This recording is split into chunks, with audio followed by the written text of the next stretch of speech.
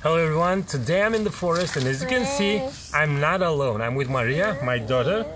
Bune bune Maria.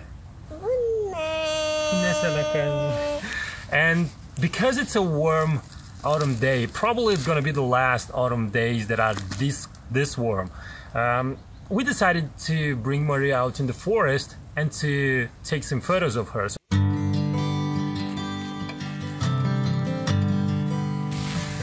The gear that I'm gonna use is gonna be a Canon 6D with the 85 millimeters 1.8 and also the 70 to 200 millimeters uh, f4.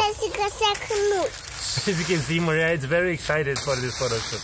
Uh, the only difference is that uh, the telephoto, this telephoto has a polarizer filter on. I don't know if it's needed, but we'll have to see. So we're gonna start photographing with the 85 millimeter lens.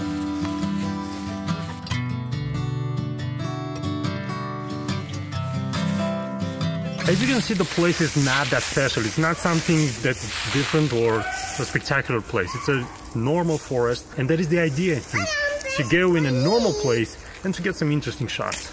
I can see birds flying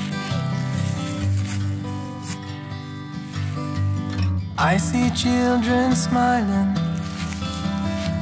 It's pretty difficult to interact with children that are so little. Mariash is almost three, but you need to have a lot of patience. And for the moment, I'm trying to convince her to stay in this spot, to help me with this thing that I'm doing.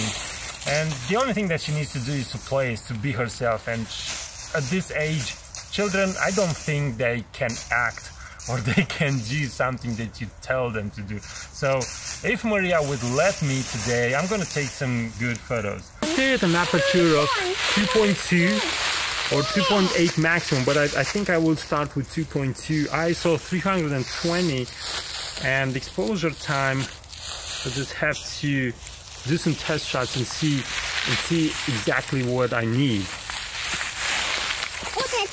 mommy. I want to be with you both days. This is the moment when you can place the subject right in the middle.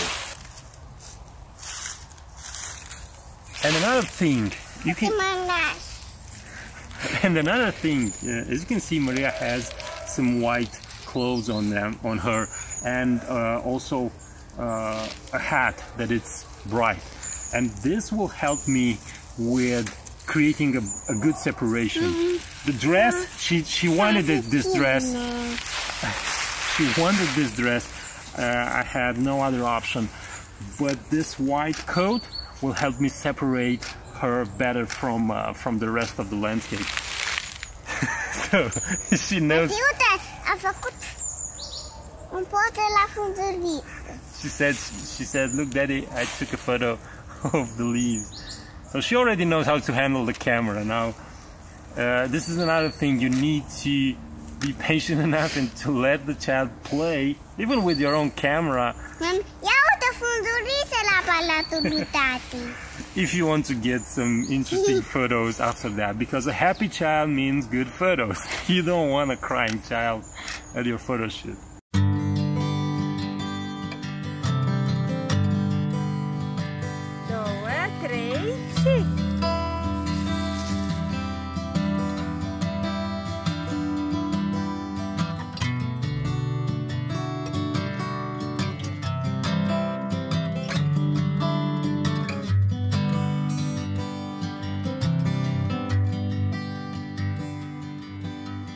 I can see birds flying. I see children smiling.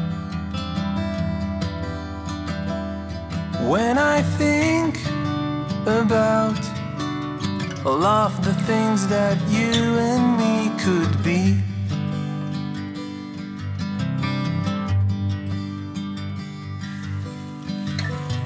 I want to be with you both day and night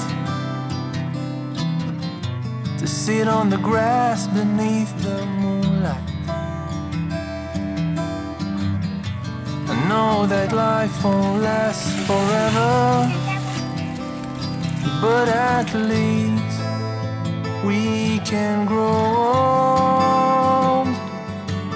together.